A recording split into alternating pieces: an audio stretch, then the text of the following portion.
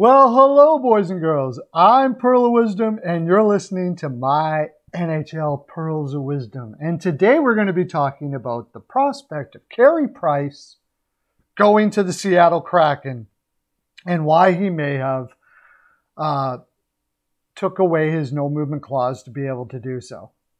Okay. First of all, we're going to look at whether he's going to the Seattle Kraken, whether Seattle Kraken are going to pick them. And I'm part of the Steel Flyers All Sports Network. Do you like all sports or any of the four major sports, any of the teams in the four major sports? Because Steel Flyers All Sports Network does all sports, all teams like this, podcasters, uh, YouTubers, writers for all sports. We're building, growing. By the way, if you are a writer or a content creator and you are interested in getting paid a little bit to do this sort of thing, let us know in the comment section and I'll get you hooked up on who you need to talk to. Okay, the NHL Pearls of Wisdom show also I do I'm going to be on tonight from 7:30 to 9:30 Eastern. I do it 5 days a week. Tonight being Tuesday night. Uh, I do it 5 days a week. Um, Mondays 3:30 to 5:30 also Wednesday and Friday and Tuesday and Thursday in the evening from 7:30 to 9:30. Anyways, let's get into it. Carey Price. He waives his no movement clause. Is he going to Seattle?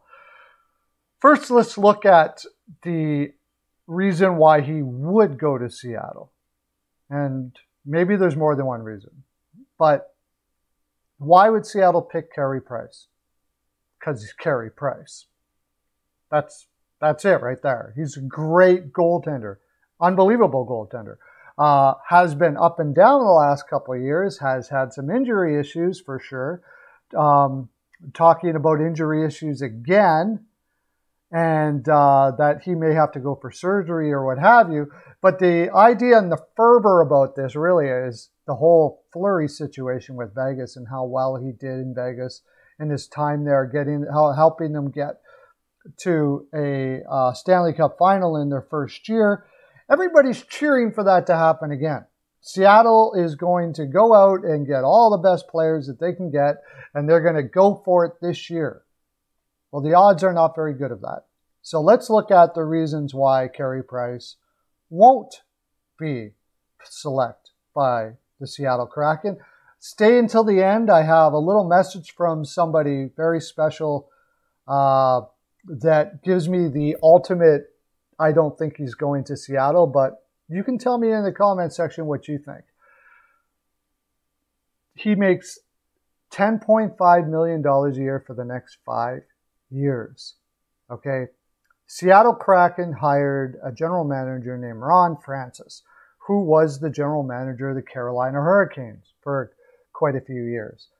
Ron Francis is a self prescribed patient person, self described patient person. In Carolina, he was extremely patient. He believes in building through the draft. He believes in does believe in building from the goaltender out, which I guess would be one reason why you might want to take Carey Price if you're building from the goaltender out. However, he does he builds slow. Um, He's not a guy that's going to go out and grab your Voraceks and all of those guys that are available and try to get the best roster possible and then load up with free agents and try to win right now. One of the reasons why that's not going to be the case, it, yeah, it's sexy that Vegas is doing what they're doing. And believe me, I, I love Vegas. I love the team. I love their attitude. I love the personality of not just go for it now, but excitement and entertainment and everything that they do. I think it's fantastic for hockey uh, and all of that. However, that team is more than likely going through one hell of a rebuild in about four or five years. They're getting older and all of that. And Ron Francis is wouldn't have been selected by Seattle, I don't believe, if they were going to try to go that direction. Um, the market in Seattle has a lot of Vancouver fans, a lot of hockey fans already. They're very close to Canada they don't really need to be good right now. It's a little easier than in Vegas, where you got to draw fans in that really don't know the game all that well yet. Um, it's a lot easier for them to say, you know what, we're going to rebuild, and they can be patient with the kids coming up and all of those sort of things like that, and then build a dynasty that can be great for a long time. You can sell that there a lot better than you could in Vegas. So, taking Carey Price would mean that he's, his best years are probably going to be the next two years.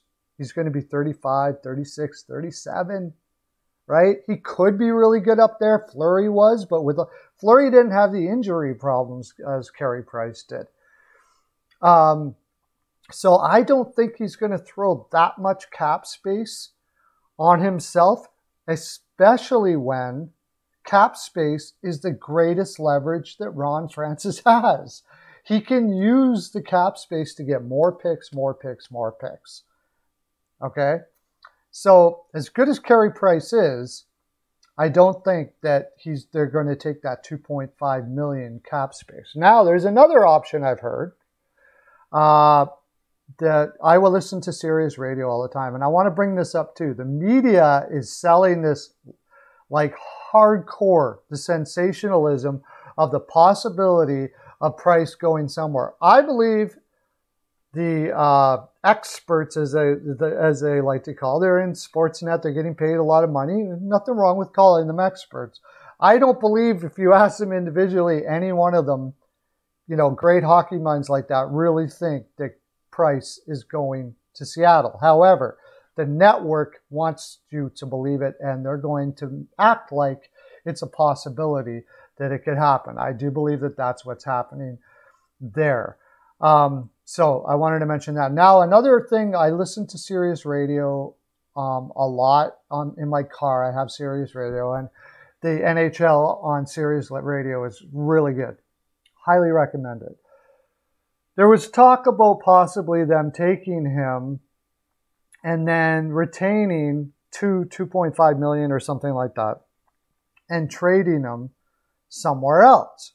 Um, problem with that is he has a no movement clause uh, he waived his no movement clause to go to Seattle. Now, if you want to play the idea, and the media is doing this quite a bit, that he obviously must have did that because he's okay with going Seattle. That's kind of what how the media is spinning this. I suppose if you want to do it that way, that's fine. But if you're okay to go in Seattle, why would he be okay with it? Because he's from Vancouver, so he's closer to his family and all of those sort of things like that decent argument, I suppose. Now, if you're going to flip them, first of all, is that the way you want to treat a Hall of Famer goaltender? You bring them in. You is that the message you want to send to your room and the future free agents that you're bringing in? That we're just going to take you and use you like trash and throw you out somewhere else for a couple picks. Secondly, how much are you going to get for him when he's got a no movement clause? He has to okay anywhere. And the reason why he came to you is could be closer to home. So it limits your ability to trade him anywhere. Vancouver, maybe Edmonton, maybe Calgary, and I'm, you know, just spitballing some teams. Besides that, he's probably not going to waive, and he's going to be very upset you did to him what you did. So if you keep him, now you have an upset Carey Price. I, I just don't see that happening either. Um, so those are basically really big reasons why I don't think Ron Francis is going to pick Carey Price. Um, I can't see them flipping him. I can't see them retaining salary like that. Um, now, there, the what is talked about here, and the reason why it all happened, apparently. Okay, I can't find anything on written down on this, but again, it's Sirius Radio as well was that they were going to expose Allen. He was talking to Ron Francis, Bergevin, that is. And they and apparently Francis asked for was saying, if you don't want me to take Allen, my guy is Allen. It's a first and a third. First and a third. Bergevin got mad and said, screw you.